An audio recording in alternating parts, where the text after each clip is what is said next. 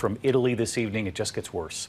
The death toll now worse than China 427 deaths in just the past 24 hours. And the infections there, the infections have not slowed down yet. The number of infections rising again tonight in this image this evening, a procession of military trucks carrying the dead from one hard hit city to another because the crematoriums are overwhelmed. ABC's James Longman on what U.S. authorities are now watching from afar, knowing they could soon face some of the very same tests. Tonight, chilling new video from Italy's front lines as a deadly milestone is reached.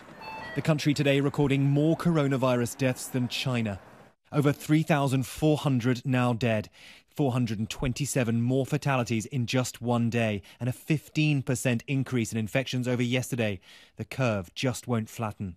This desperate plea from a doctor in hard hit Bergamo. Our health personnel, nurses, and physicians are working round the clock, countless hours to fight this incredible situation. Tonight, 300 volunteer doctors now being rushed in from other parts of the country to help. Even Bergamo's crematorium is overwhelmed. Bodies now have to be transported by the military to surrounding regions to be dealt with safely. This nurse saying the psychological tension has, quote, gone through the roof. We're not even counting the dead anymore, she says. Doctors also making the ultimate sacrifice. One physician, sick with the virus, reportedly didn't want to take an intensive care bed from another patient. It cost him his life. Darkness in Italy and Spain, suffering nearly 300 deaths in the past 24 hours. But glimmers of light from China, reporting no new domestic cases.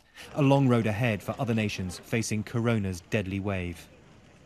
And James Longman with us live from London tonight. And James, you've been to Italy three times since the outbreak began, and we heard about that doctor losing his uh, life fighting the virus. I went read one report today, uh, tributes to the doctor that uh, left a lump in your throat. It was reported that he didn't want to take one of the beds in the ICU from patients who needed those beds. He waited so long for help, and it just really illustrates the sacrifices being made by the medical community, not only there in Italy, uh, but they're about to be making right here in the U.S.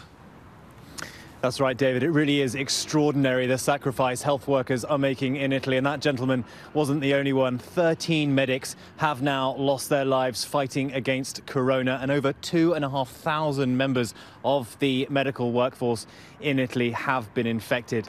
These are dark days for Italy, David. James Longman, our thanks to you again tonight. We must remember the workers on the front lines. James, thank you. Hi, everyone. George Stephanopoulos here. Thanks for checking out the ABC News YouTube channel. If you'd like to get more videos, show highlights, and watch live event coverage, click on the right over here to subscribe to our channel. And don't forget to download the ABC News app for breaking news alerts. Thanks for watching.